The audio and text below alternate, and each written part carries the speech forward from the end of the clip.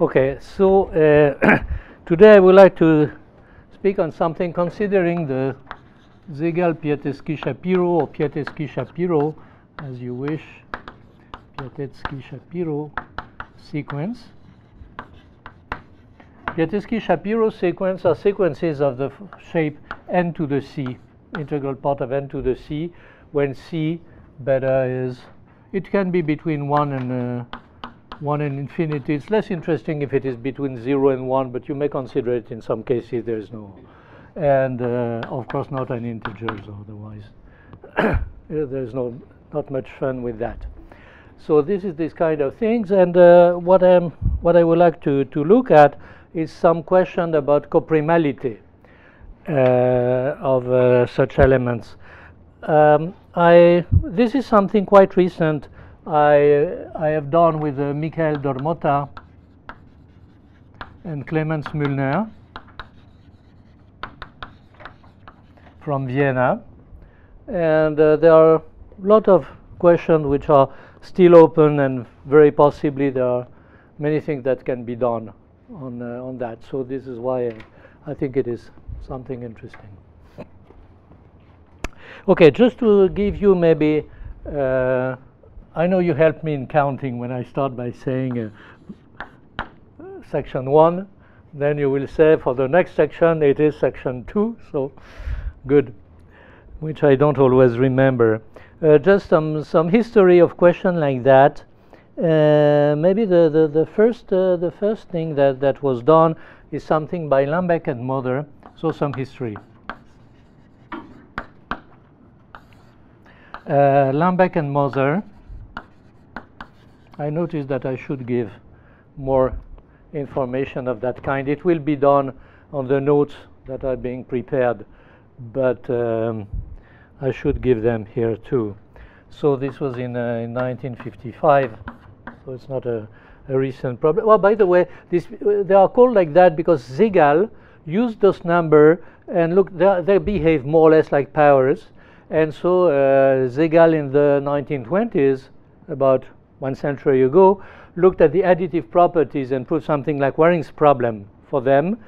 And uh, some very important things has been done by Piatetsky Shapiro, which was to prove that when C is a bit larger than 1, then you have infinitely many primes, and you have even a prime number theorem in this sequence. So it was really the first sequence which was growing quite easy, like a polynomial in some way, polynomial growth, in which you had infinitely many primes and even a prime number theorem.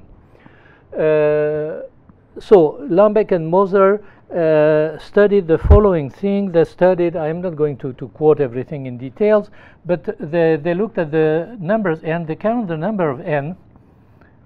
So let us say they count the number of n up to x for which uh, you have n and uh, some f of n are coprime. Op, f of n, uh, the GCD is 1 for some f which were something like n to the c, but for a c less than 1. So essentially, they were looking at slowly increasing functions, and they could compute what was that, and essentially say that it is, those are more or less independent. You see, if you take two numbers, random numbers, uh, integers, uh, the, the probability they are coprime is 1 over zeta of 2. I think this is quite uh, basic result in number theory. Uh, and so they, they showed that this number is something which is equivalent to uh, zeta of 2 times x, or uh, 1 over zeta of 2 times x. Okay, and the, the thing stayed like that for, for a rather long time until uh, Francine Delmer, by the way, happy birthday, Francine, and, uh, and I, this, this was much later, it was about 2000, when was that? I don't remember. Did I write it? 2002. Uh, we looked at that and we showed the, the same thing for n integral part of n to the c is equal to 1 blah blah blah and then for all c for any c then they are coprime and uh, possibly the next thing there, there, was, there, was, I am not quoting everything but Bergelson and uh, Richter in uh, 2016 looked at the following, which was quite interesting. They were looking blah, blah, blah, and it was n, and then it was f1 of n, blah, blah, blah, f uh, k of n is equal to 1. So, of course, then it is no longer zeta of 2. It is something like a zeta of k, or k, k plus 1. 1 over zeta of k plus 1 uh, you have, uh, where fn were, you can think that there were different uh, Piatetsky-Shapiro sequences and they extended that, which is nice because you see, once you have done something for n to the c, then someone will say, haha, but can you do it for n to the c times log n, and can you see it for log n alpha, and, and log n, uh, log log n, and so on, and exponential to minus something. And uh, so what they did, was very nice, is to consider this function from something which is a Hardy field. Hardy fields were introduced by Hardy, I, am uh, not going to, to, to, to, the details here, but Hardy fields are, were introduced by Hardy in some way to give scales of comparison of the, of the increasing of the function. You see, this is something you have for the, in the error term in the prime number theorem. You have some function which are exponential of minus square root of log x, and then you do minus log x to power 3 over 5, and so on and so on, and you have things of the kind. So they take something which is in a Hardy field and they tell the integral part of them. And uh, what they ask is that they are, uh, of course, that can be very slow. So you want them to have an increasing growth. So they are polynomial growth and they are quite apart one from the other. Okay, and uh, more recently, you can see it on uh, arXiv. I am not, I don't think it is yet published. Uh, by Banks and Shparlinski. So this is 2022, and I don't know when it will be published. Um, looked at something which is when you have linear functions, alpha 1 of n, blah, blah, blah, alpha n, alpha k of n is equal to 1. And again, you have something. Those should be rational, and uh, if they are rational, then you have competition between those, so they have to be rational and uh, and you can say again something uh, of this kind. So what I want to stress is that in all those kind of results, there is something each time that there is the value n. Okay? And there is one good reason for that is that you are going, if you want to see what is the GCD, you are going to look at the common divisors of them and so there should be a divisor of one of them. And it is very nice to say that you have a divisor of n. Because if n is divisible by d, just to say that n is equal to md, and you are just summing over md for m consecutive integers. So this makes your life quite easy. And so what I would like to, to look at today is something in which there is no n. We have the element coprime. Uh, but then we are not going to count the number of elements. We're just going to say that there exist and for which those elements are coprime. Okay? So maybe I go now to the statement of result.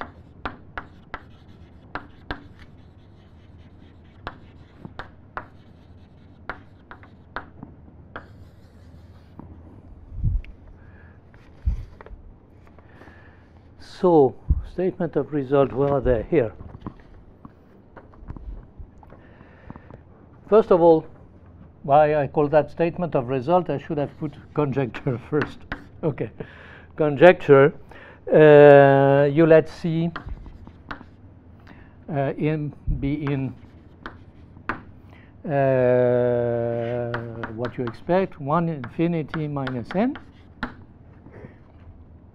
and H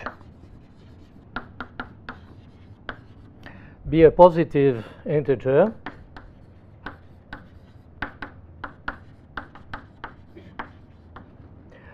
then there exist infinitely many n.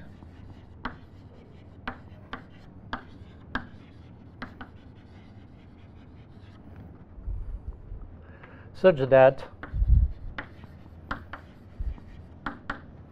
um, if C are if the C's are different, usually this is easier. So we want to take consecutive elements. And by the way, taking consecutive elements is fine because this is local property of the of arithmetic function, so it is well into the frame of, uh, of those lectures. n plus 1 to the c, n plus h to the c are pairwise co coprime.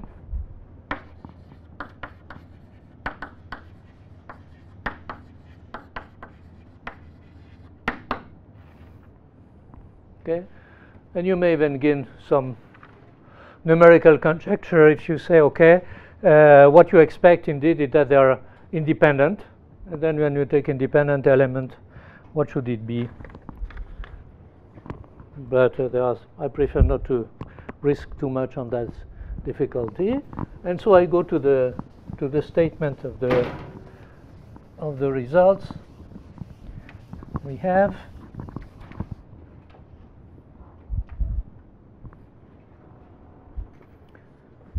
Left alone.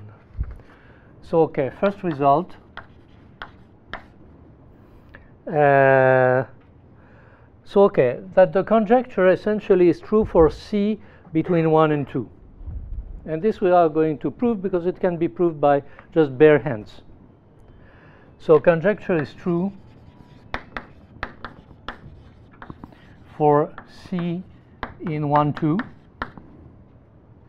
and even H in terms of n can be taken large as n tends to infinity. You may have something which is a bit more than just to say h is fixed and then you can take n tends to infinity. Then of course it means that there exists a function eh, h tending to infinity such that blah blah blah. But you can really find one of them. And h as large I know that doesn't mean much because n is involved in the conjecture in the statement of the conjecture, and A's is at large as some constant. You don't care much about the constant. It is something which is, in any case, positive when C is in between 1 and 2 log n. So you can go up to log n. Okay? And from the construction, you'll see that uh, you cannot do much better. The second result in some ways to say, how, how can you do in such a way that none of those elements are coprime? Okay? So this is one way to, to see that will be indeed easy. Just if all of them are even, then you are done. Okay? So for any C, then this finds this is fine for any C in 1 infinity minus n. There exists there exists some constant, little constant k, kappa, depends on c, exists kappa, and infinitely many n,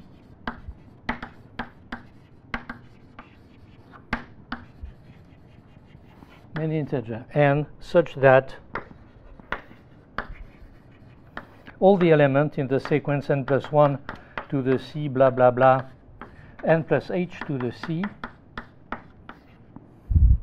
are all even. That are all even. And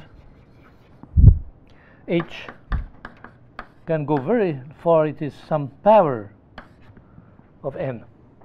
So we can find really very long consecutive elements in this sequence which are all even. Okay it's something like a small power. Of course it is a small power small power of n but at least some power of n. Okay, so this you can do. Okay, so what we what we are going to, to do now, I would like to do the following. This I will explain you later on, possibly in the fourth, in the fifth uh, lecture, how you can prove that. And what I am going to prove here, because it is in some way a good point to start before doing this one, I am going to prove theorem 2 for C in 1, 2 and uh, this will be just something like that. Some small h okay? And this will be in some way a first step towards proving theorem 1 okay we prove theorem 2 for c between 1 and 2 let us say for the time being h is large is fixed and large and we'll see where it comes from that we can go up to a constant time log n Okay. So obviously, there, so now really what is important, we have no idea how to do for C larger than 2. Okay, this is completely open. We're working with, uh, with Shaoli and Balu about counting elements having this property.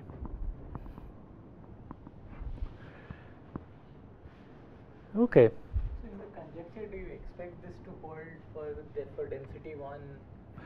No, not for density. Uh, ah, what do you mean? For almost all C, you mean? No. Almost all. No, uh, no, no, no, no, no. What, what we expect is that uh, it is like uh, random numbers. That is to say that the, the density should be something like 1 over zeta something or, or even, uh, even less, but uh, we, we expect a positive density. Obviously not a density because with a positive density, uh, n plus 1 to the c and n plus 2 to the c uh, are not coprime. They can be even, both of them, with a positive density. Yes. Yeah. We'll see. We'll see how it goes when, uh, when we have better tools for working on, uh, on that. For the time being, I just want to do it with bare hands. That is to say that what we use is a Taylor, nothing, nothing else.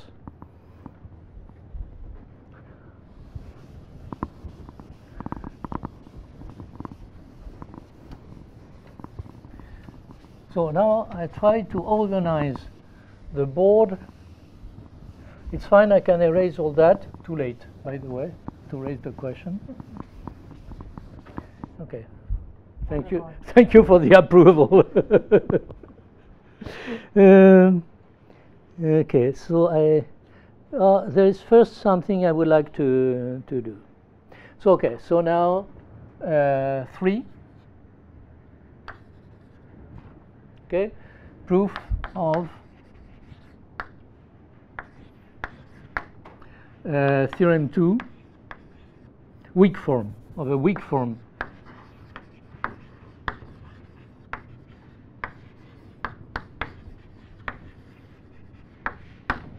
of theorem 2. Okay?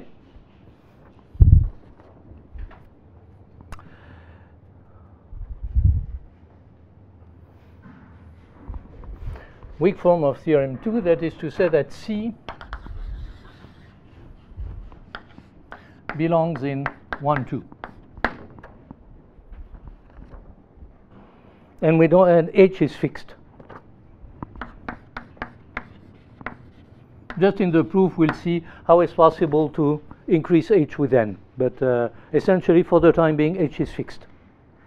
And I want to say that there are infinitely many n, so that n plus 1 to the n, blah, blah, blah, and plus h to the, to, to the c, sorry, uh, integral part are pairwise copri- uh, even, all even. Okay.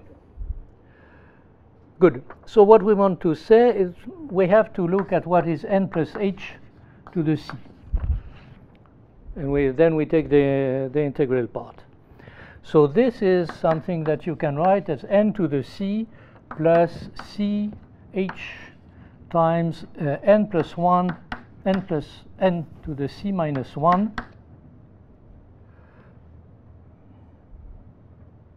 Oh, there's some mistake here, but this is not a problem. Plus big of x square n to the c minus 2.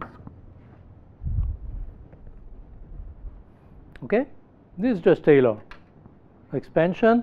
And you see that if h is fixed and n tends to 0, this is just peanut. Okay, this is little o of 1. So h is fixed. You see here that a priori it is even possible, so c minus 2 is negative. Hmm? So a priori here it is possible to have h going up to a little power of n. But with what uh, the, the way we are doing that, it, it will not be that, that well. But in any case, for the time being, this is something I completely take it out. Okay. Then I said the following, that this number, I can write it at 2. I, I multiply by 2 and I divide everything by 2. Now, n to the c over 2, I can write it as being n over uh, nc over 2 plus 2 times fractional part of nc over 2. This is just to say that nc is the sum of the integral part and the fractional part, except that I have divided everything by 2. I take 2 times, this is 2 times n over the c to the 2, and this one I said this is the sum of the integral part and the fractional part. Okay? And then I have something which will be again plus 2h integral part of c and c minus 1 over 2 plus 2h uh, fractional part of c and c minus 1 over 2 plus peanut. The peanut is exactly the same as here. Okay? Now what I want is to say that this number is even. If it turns out that this is the integral part, then I am happy because this is the sum of two even numbers. Okay? So if the sum here is small, then I am done. Okay? So I want this to be small. One way to say that this is small is just to say, for example, that assume that n over c to the 2 is less than one third or something like that. Uh, 2, uh, let us say 6. Then this will be less than one third. If I assume this, aha, there is the factor h. So this one has to be pretty small. So what I ask also is that c n to the c minus 1 divided by 2 is less than 1 over, what, with equality or not, this is not the problem, 6 times h, then integral part of n plus h to the c is even for all h. You can start with h is equal to 0. This is not the problem. I start with 1. It, it, has no importance to start with 1 or not. Just to say that if I start with 1, then I have exactly h terms. But uh, it's, not, uh, it's not important. Okay? So if this is small and this is very small, then I am happy for any h. This will be the int the integral part of that will be an will be even.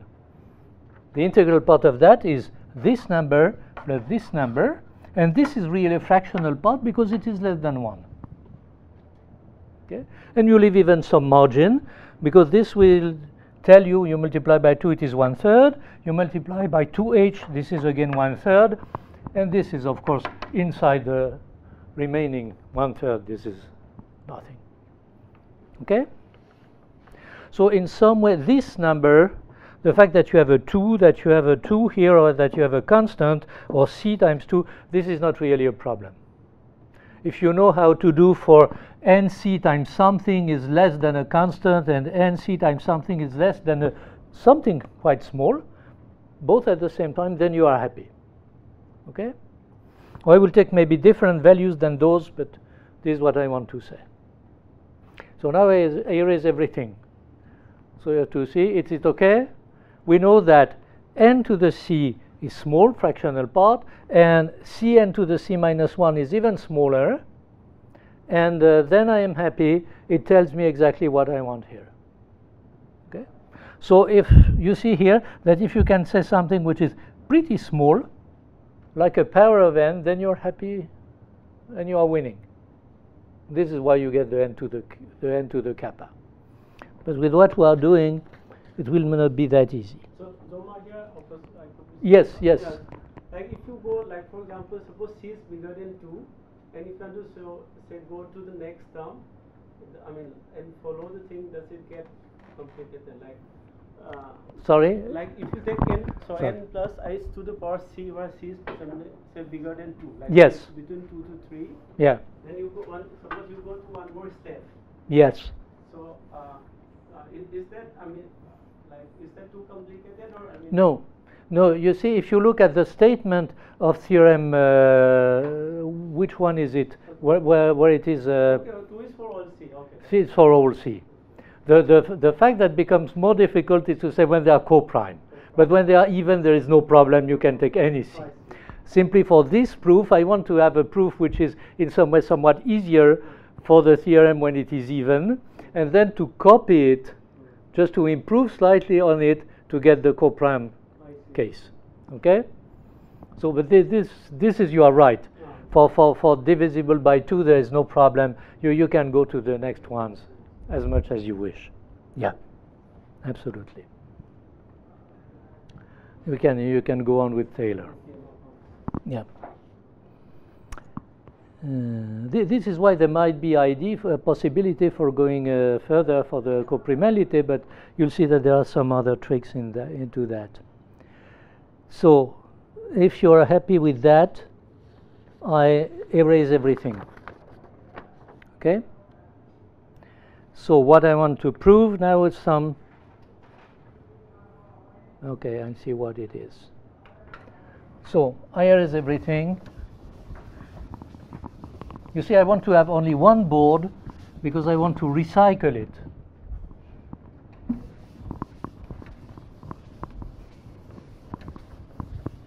So this already gives you positive density of n Hmm? which are even. This, this kind of gives you positive density Yes, yes, yes. This, this, this is fine. If you you can prove that you have positive density for those, there is no problem. You have positive density. Yes. And you see that the, the density will drop when h is tending to infinity. But for given h, you have a, a positive density, which is something like 1 over h. Yeah, absolutely.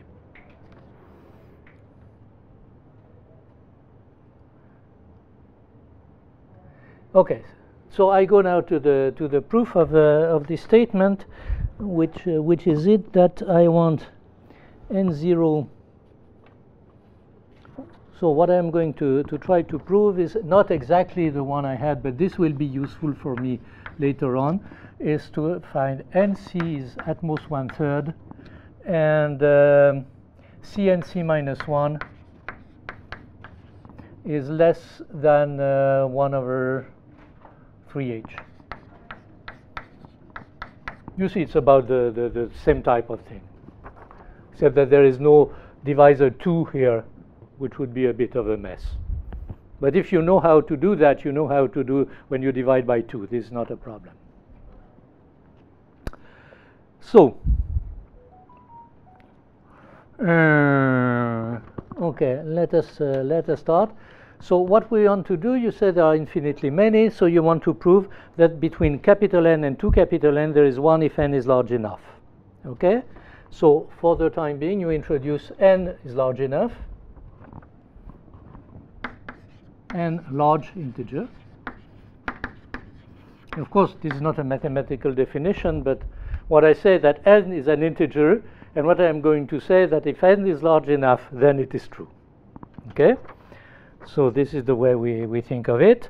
And um, what do what do I need? Maybe I need also to use somewhere the mean value theorem. Mean value theorem, which will tell you the following: that uh, there exist k1 and k2, such that for all L belonging in uh, 0m, and given and so on, we have the following that Cm uh, plus L to the C minus 1 is between minus Cm to the C minus 1 is larger than K1 L m to the C minus 2 and less than K2 L m C minus 2. This is just really the mean value theorem. You know what is the derivative of this function, so you are taking L times the derivative of this function, and this function is cc minus 1 m to the c minus 2.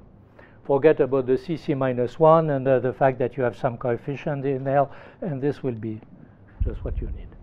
So this is what you, what you have. And now we start the proof. Uh, try to like that. So now, since n is sufficiently large, we have c times uh, 2n to the c minus 1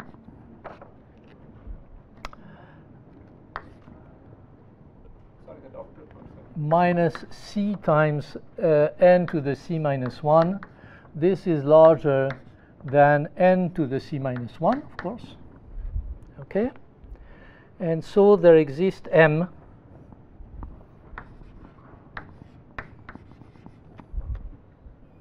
in uh, c minus 1, cn to the c minus 1, uh, 2 times, no, not 2 times, c times 2n to the c minus 1. Closed, open, this is not a problem. Okay, because you have something which is large enough. As, as soon as it is larger than 2, you are happy. In this interval, there exists one integer. Okay. So you let m be the smallest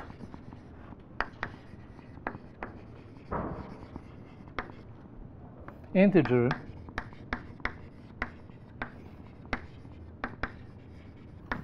such that integral part of cm to the c minus 1 is equal to m.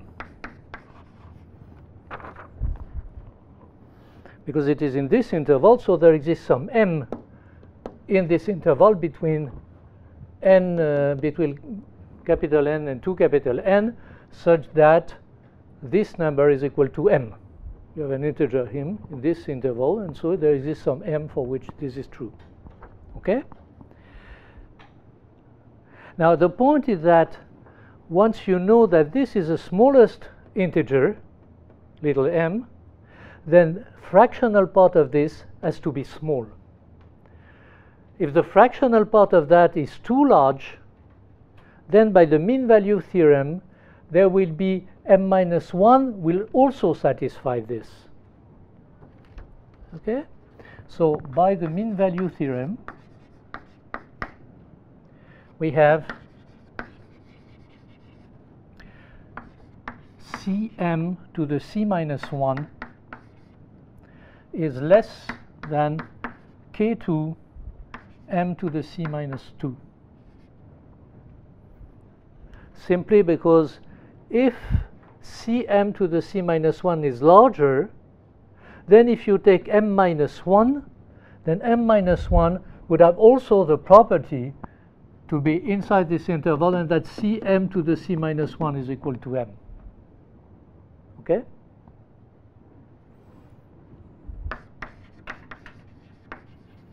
otherwise m is not minimum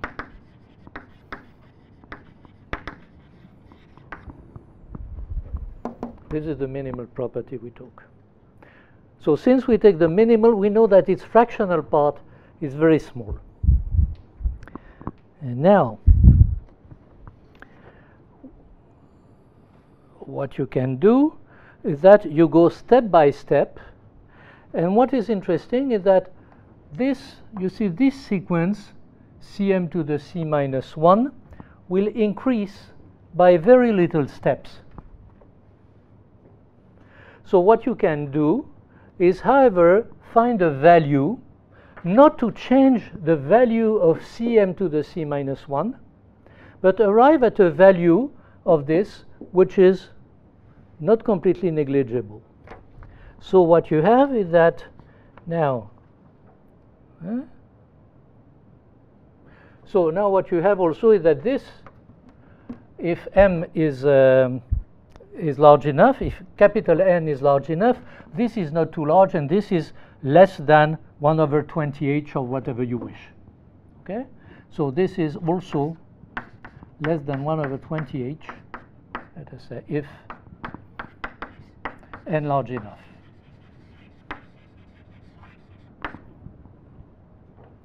So this is a small thing. And now what we are going to do is to go step by step. We increase this by L steps. So now what you have is that there exists L, indeed at most m to the 2 minus c divided by k for hk1 such that you will understand why this value such that c m to the c m plus l to the c minus 1 is equal to m.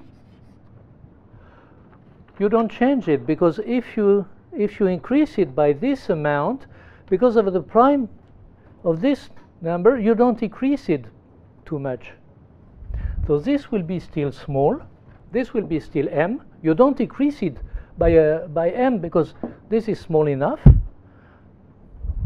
but now if you look at um, c n what is interesting is that c m plus l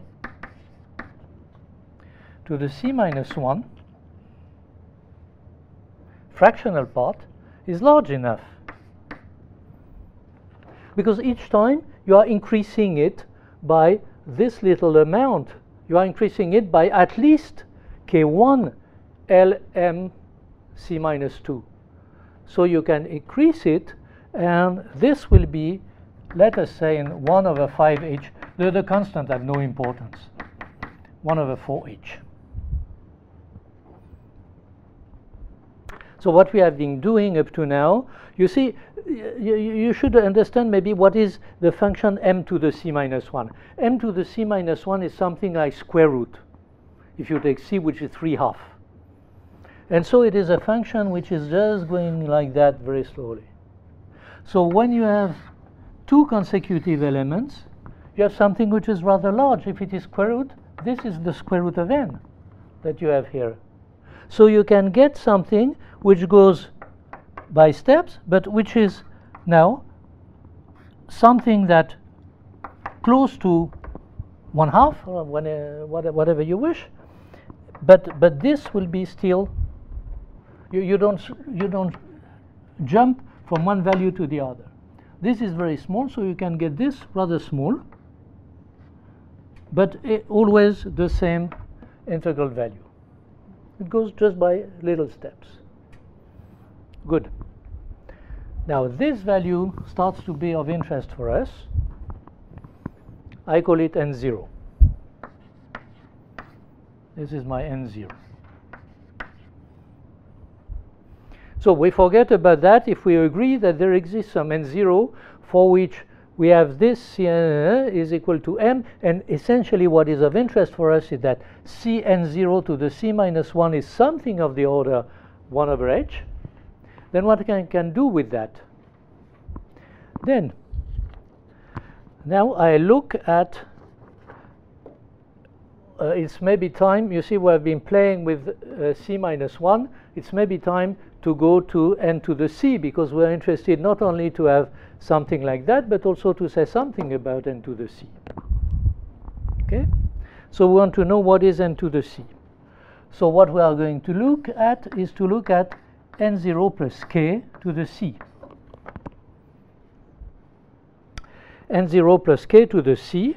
Let us assume that maybe I start with 4k for 0 less than k less than whatever you wish 20h something like that we have and now we follow what is n0 plus k to the c so of course this is n0 to the c plus fractional part of n0 to the c up to now I have absolutely no idea. Well, I am interested only in, uh, in fractional parts.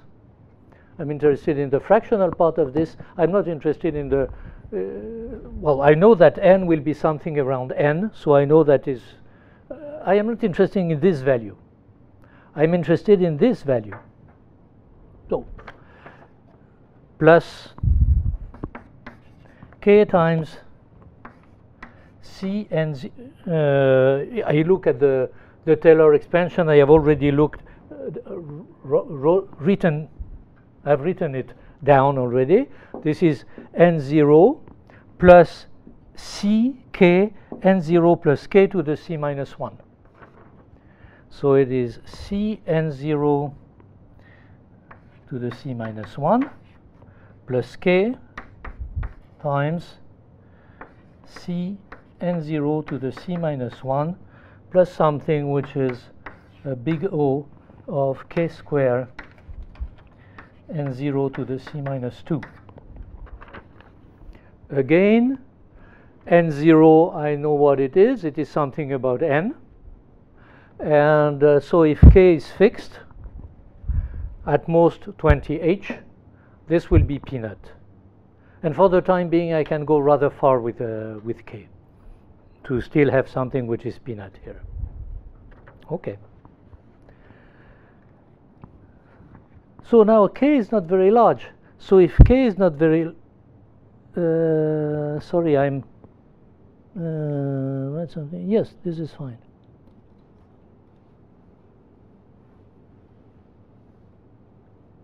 Yeah. Yeah, this is okay. C and 0. Yeah, okay, this is fine. Okay. Uh, what I'm saying now. What I'm saying is that k is not very large, and so I know what is this fractional part of Cn0 to the C, Cn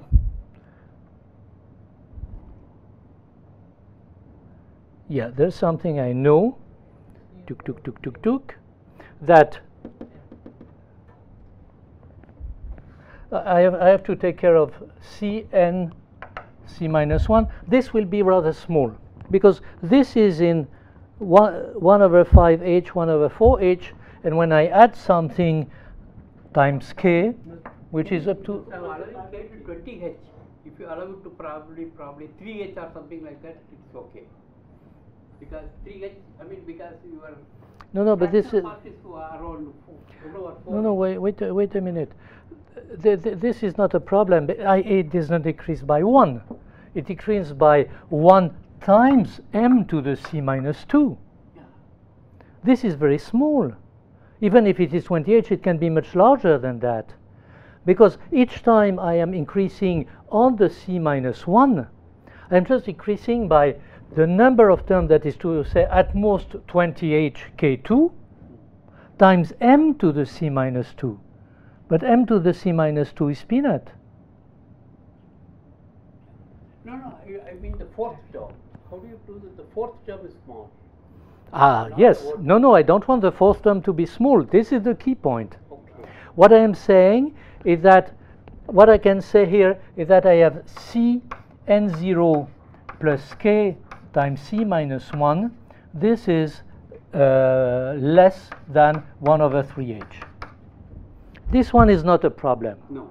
because this one I am just taking k times, which is at most h times something, m to the c minus 2. And n minus 2 is not a problem. Yeah. So the real problem is here. Yeah. And this is something which is really important. And I want it to be important because I have no knowledge of what is n0 to the c. n0 to the c can be two thirds. Okay. But if it is two thirds, I am not happy. But since this is now not too small, it is at least 1 over 5h, then I can increase it. And then I will go round and have something which will turn, which will go above 1. But I don't care that it goes above 1. What is important is that it stays in the uh, interval one third. Okay? Yes. And so if I take k in this range, then I am sure that each time I'm going to increase by at most at least one, uh, 1 over 5h, so I will go far enough. And since this this is rather small, however, I am sure that I will fall into one third. What I am doing is the following. You see, I am here, n0, I don't know where is n0 to the c. It's somewhere which is here. Possibly not one third. I would like one third to, to have it in this range. But what I am saying is that when I am increasing, now I have chosen n0 such that the difference is between 1 over 5h and 1 over 4h. So it is 1 uh, and then at least I can find one value which is inside this interval. Okay? So now I am done. Good. I keep this. This is what I wanted to do. Okay. Uh, yes, possibly I need now. Finding an n0 for which this is true. So- it? sorry? You, you kind of finding an n0. Yes, so I have, so uh, I have some n0 plus k, which is good. I can find a k if I, I can find a good k for which this will be good, but for which this also the fractional part now will be this. The integral part will not be the same one; it will increase by one, but it's not a problem. If this is already in one third, I am happy. I stop. If it is not in one third, I have all the possibility to play with k to increase it until I, it falls modulo 1 into 1. So the integral part will be this plus this plus 1. But I am not interested in the value of the integral part. I'm just interested in the value of the fractional part. So I can go above 1 if needed. If it is not small enough, this goes sufficiently quickly so that I can do it. So we are choosing some C such that the, the fractional part becomes uh, stays within the range. Yes, because you see, this is, I don't know where is this one. But I know that when k increases, not first of all, I can cover all the circle, but I increase only by small steps. So sometime I will fall into one third, into zero one third.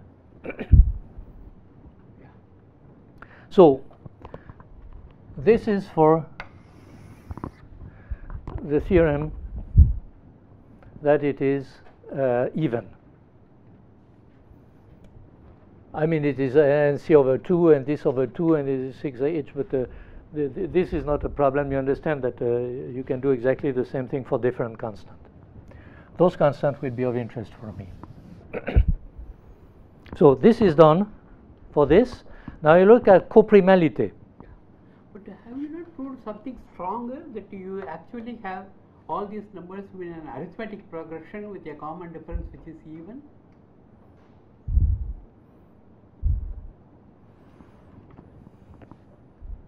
Uh, it is it is increasing too quickly. Yeah. Uh, locally, locally it should be linear. Yes. Yes. Exactly. Yeah, yeah. Locally it is linear. Yeah. Locally it's linear. Yeah. At this stage Yeah. you are Yeah. proving Yeah. You can you can even prove that it is an arithmetic progression if you wish. progression Yeah. with uh, Yeah. Difference. Yeah. Uh, mm, this. Yeah, I think yeah. Yeah.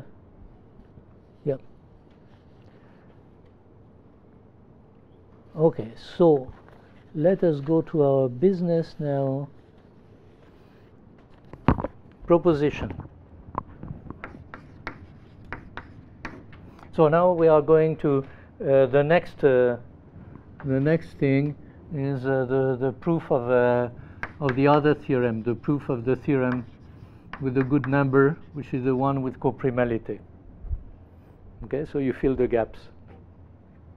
This is four, and this is the one with coprimality. Coprimality was uh, the one with theorem one. Okay. So proposition, let n be large enough, satisfying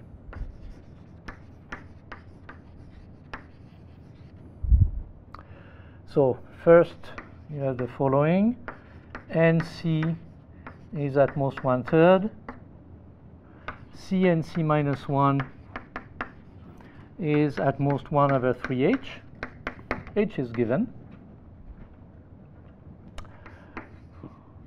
Then you have the following. I introduce pH is the product of the prime up to h. This is pH. So for us, if h is fixed, this is a fixed number. It Can be rather large, but you see that if you want to go to something which is n, capital N, it will be something like that, then the product of prime up to h is something which is exponential of h. The prime number theorem. It is equivalent to, to e to the h. So if you want to have something which is not exactly a power, a small power of n, then you have to take a small log of n. This is exactly where comes the upper bound in, uh, in uh, log n for h. Because we want this number not to be too large compared to n, to be a small power of n. Okay, so pH for the time being is a constant. So we assume that pH divides uh, Cn to the C minus 1 and uh, GCD of NC CNC minus 1 is 1. So these are the hypotheses. Then n plus 1 to the c. You can start by n to the c if you like it. Blah, blah, blah. n plus h to the c. Uh, all these elements are coprime, are uh, pairwise coprime.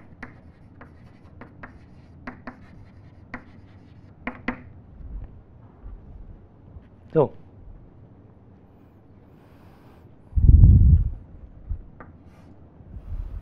okay, let us prove that.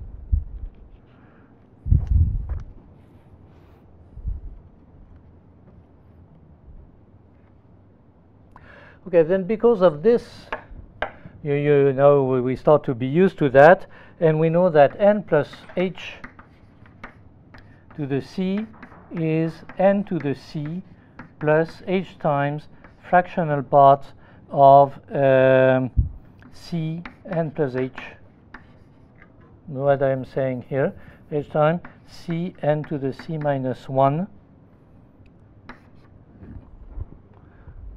is what we have. These we are used now to that. We have done that several times. You have the fractional part here, which is at most one third. You have here the fractional part of the business, which is at most 1 over 3h. You multiply by h, it is at most one third, and one third plus one third is less than 1, and so this is really the fractional part of this business. So now we, we have this. Okay? So first point, this number for any h, I'm sorry, I just use, I don't want to spoil this. Uh, I'm going to recycle this. So uh, n plus h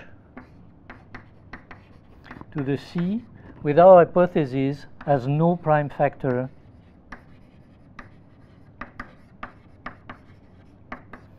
which is less than h.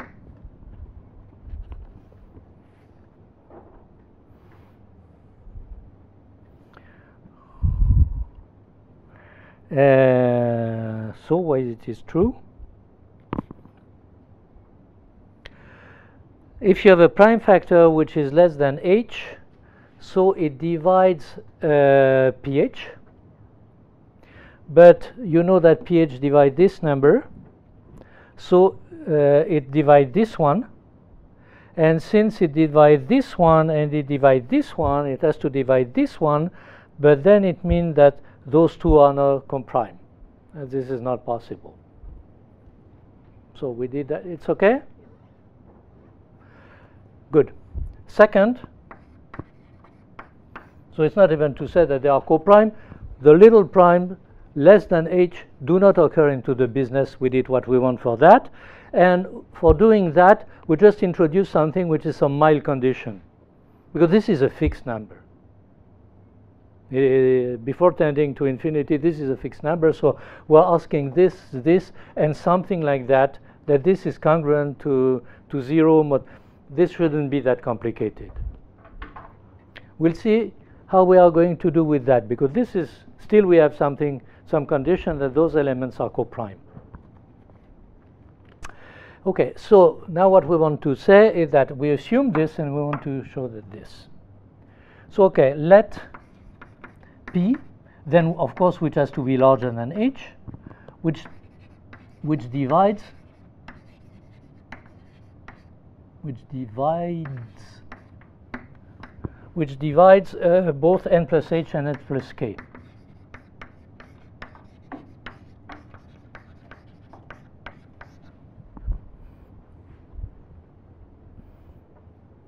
Okay, we assume that they are not coprime and we want to, to show that there is some contradiction. Okay. So this is, they divide both of them, so they divide the difference.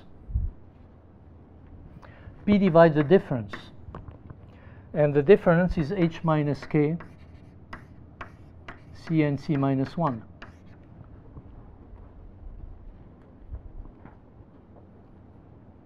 I go I go too quickly for the for the first. No, it's okay. The first is okay. There is no small prime. So now I say if there is someone which divides two of them, it has to be a large one because none is divisible by a small one. Then it divides the difference. So it divides this. But this is a number which is less than h.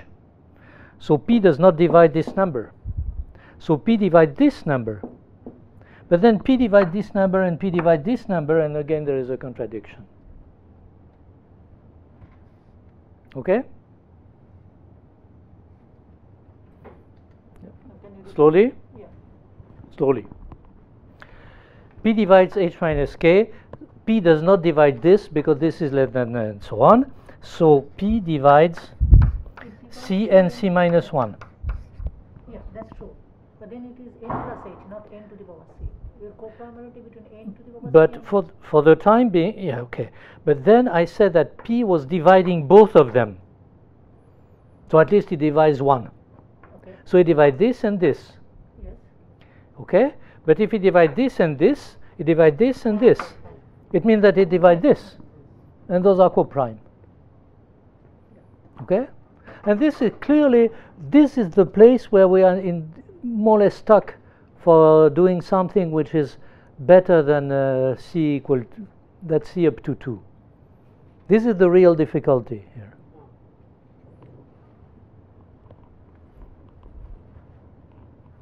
Because then in this expansion you have more than two terms. You have two terms because c is less than 2. I don't say that it doesn't exist, I simply say we don't know how to do. So this is definitely an important part where we need c to be small. If we know how to do it with c larger, then of course we can do something better than, uh, than using uh, bare hands you see in, the, in this spot. So now what I want to do is to prove that there is something like that. Okay?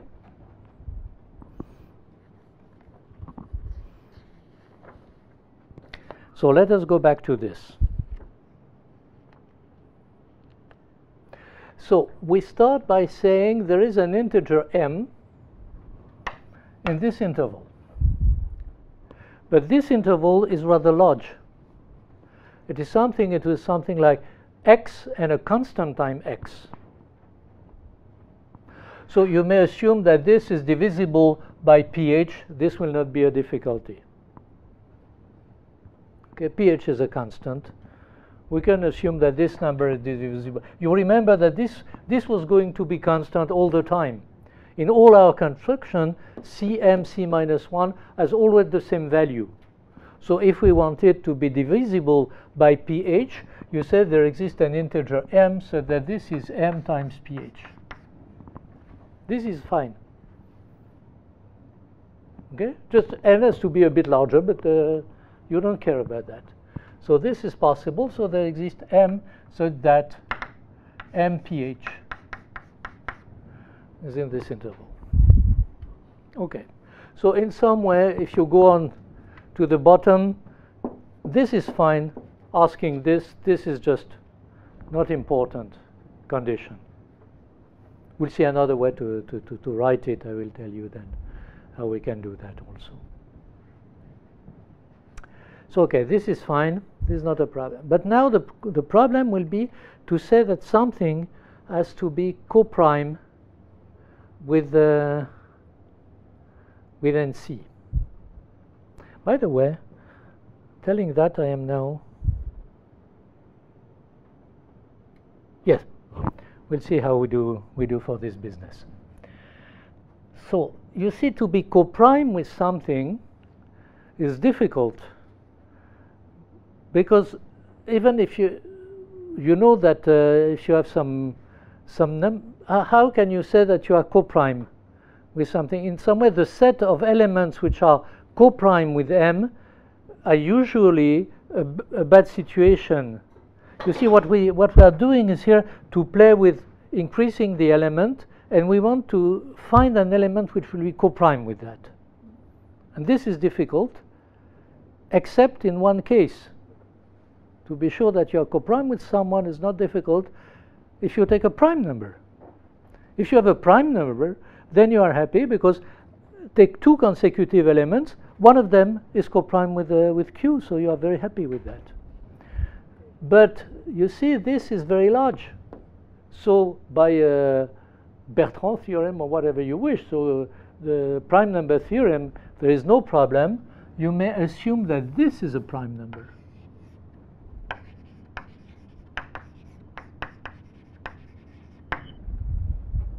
There exists a prime q such that q ph in there. Okay, q is a prime number.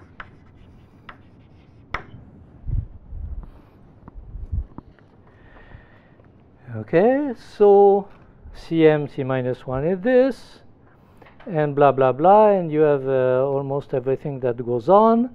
So cm c minus 1 it will not be m, it is always the same value, so it will be qph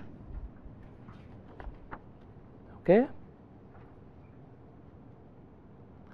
now k we can take we have some margin for k.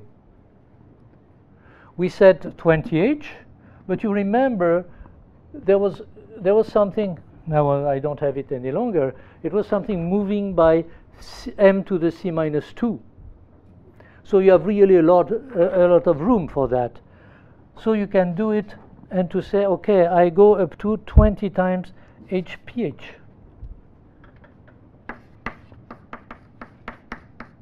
This is not a problem. This will tell you that here there is again this upper bound that uh, pH has to be a small power of m. So a small power of n, and this is why you have some restriction that h has to be at most log, log. Log n. So okay. So all that is fine, everything is the same thing. And this is QH. I think this is the only thing I have to do. And now again, I have to work on that.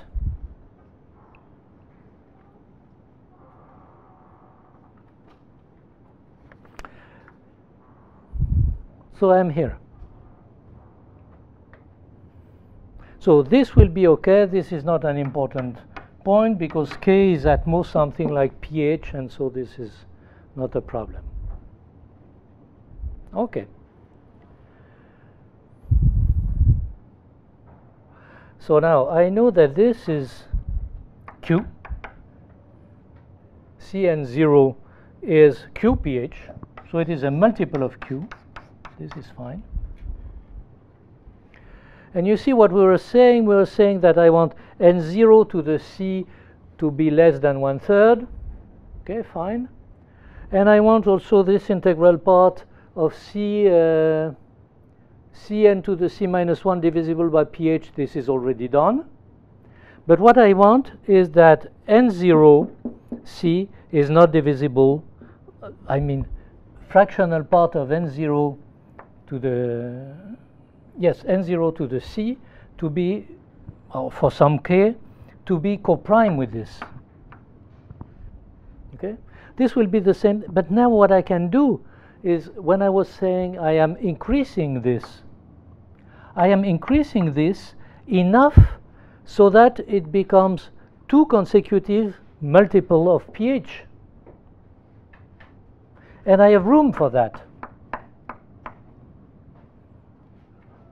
So I have room because what I am doing now is that I am turning enough time, I can turn something which is at least to find two, two multiple of pH.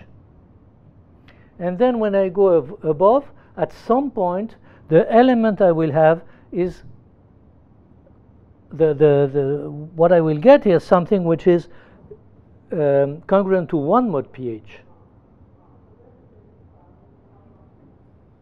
I mean, no, I have two consecutive values of pH. If I let k turn around, among those numbers, so for all those numbers, the n cn0 or cn0 plus k will be always something which is pH, qpH. This will not change because they change very slowly. But then as we got the integral part of this, which is this plus this, this one will turn enough times so that it becomes at least two consecutive values mod q. And if you have two consecutive values mod q, then you are happy. It is one of them, so in this sum, one of them will be coprime with q. Okay? And so you are done also with that. Good. So, uh, well, so I planned less than uh, than what I what I was thinking of. But uh, is it a problem? Yeah, maybe maybe I can tell you just something about the way usually to get this question of uh, coprimality.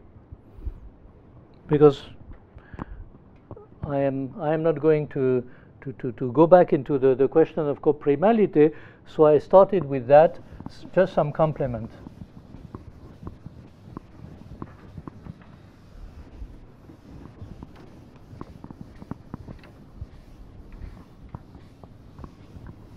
So this is something that can be useful if you if you want to do that because this seems to be some very special trick. And uh, I doubt you can use that with definitely c less than 2 is very hopeful and we're using several times in some way. Um, so if you want to say for example that n and n to the c are coprime what you are going to say? So 5 I don't know or something like that complement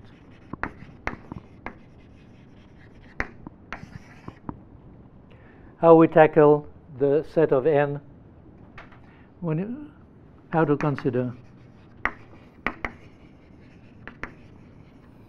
the set of n up to x such that uh, GCD of n and n to the c is equal to 1. So what you are doing is you are taking n up to x, and then you are saying that I have the summation. I have I have something which will be how you say that the GCD of something is one. A good way to check that something is one is to look at the divisor of the GCD of n and to the c of mu of d. Because when you when you count, this is a good way to count the number of elements. Something is one if the sum of the it's the devise the mu function over its divisors is is equal to one, and otherwise it is zero. Okay, it just uh, it just comes from the fact that one minus one to the power r is equal to one if r is equal to zero, and otherwise it's equal to zero if r is larger than one. This is the the key point in the proof.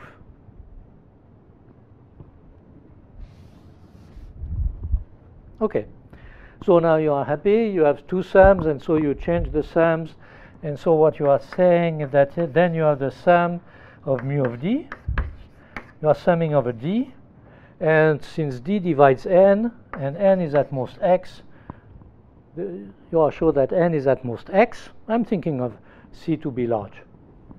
And, uh, and then you have something which will be now, you are summing the number of n to x, so that n is congruent to 0 mod d, and n to the c is congruent to 0 mod d. This is to say that d divides at the same time n and n to the c of 1. Okay? And then you are happy because if you have something like that, this is quite easy to, you know what it is. This is the summation uh, when d divides x of mu of d, and then you have something which is the summation. So you say immediately that n is divisible by d. d is already given, you know what it is. So there is no point to say that n is divisible by d. You just say that n is at most n of uh, x over d. And then you say that n is m times d. And so you just have to say something that n times d to the c is, congru is congruent to 0 mod d of 1. Okay? And this is something you can you can figure out what it is. So you can also take the small uh, the small d's. For the small d's, you have really a good uh, good distribution of those elements. We'll talk about that in the fifth, uh, the, the day after tomorrow. We'll talk about those things, how you you you count the element like that. But but this is something you, you can do, which is much better than having two conditions. You see, if you have here some other value n to the d, then you have to say that both are, and uh, so here you, you have something which is much nicer. So for small d, you have a very good uh, uh, estimation with a good error term, and for large d, then uh, it is enough. Then if you have large d, you have a good denominator here. This is not great. You see, you are expecting to have something in x, but if d is large, then you are counting on a very short number of, uh, of numbers. Okay? And so then, if it is really very large, you just completely forget about that, and otherwise, you can get some good upper bound and you are happy with that. Okay, this is the, the way it goes. So this is why, in some way, each time you have something which is n, and it helps you a lot. Because then it means that you have a sum over something which is small for large d. Small d, you always can master them, but large d, you don't know what to do with them. So, okay, maybe I stop here today.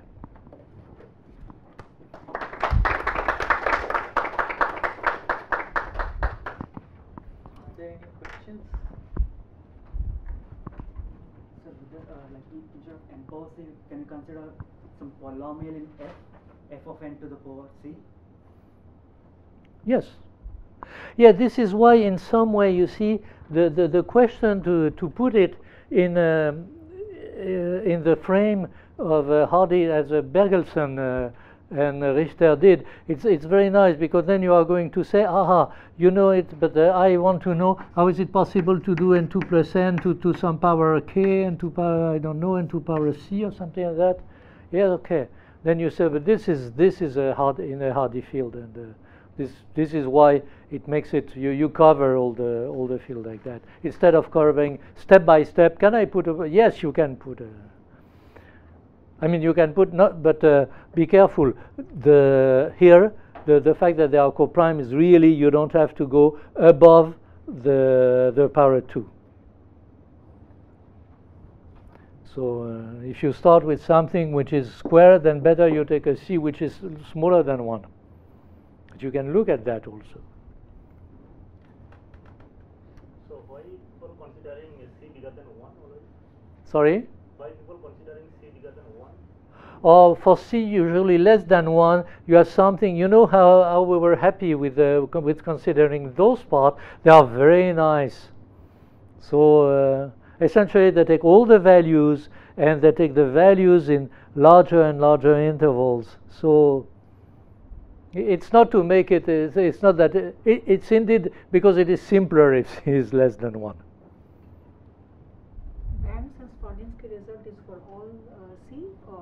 For Sorry? Banks Shparlinski result is it also for all C or what? It is No, there is no ba- bank C. bank It's just There is no there, there is no power. It is multiple Okay, so then alpha ones, uh, what are they? They're irrational. Okay. If they, are, if they, they have to be uh, together irrational because other uh, uh, yeah co- yeah because otherwise uh, you, you have something which is between n and the fractional part of uh, n over two you have uh, you have something which is uh, they are consistent. It is. General position. Hmm? They should be in the general position. That's all. Yeah, yeah. In some way they are in general. Probably position. q-linearly dependent Yeah. actually. Yeah. Yes. So in your final remark, this summation, uh, here also you would like to take C between 1 and 2, some smaller C or is No, no, no. What we no, because because we, we we are just indeed what we can do is show that you see there will be something here. You have to understand that here you have something which is already one over d yeah. that occurs. So you have mu d over d. As soon as you have something which is a little power here, you have something which is convergent. Correct. And so what is important is just the very small power, the very small x, very small d. As soon as you have some d which is something which is large, it will give you something which is mu of d over d to the 1 plus something, and this converges, and so you are just interested in small d. So this is why you can take c arbitrary large.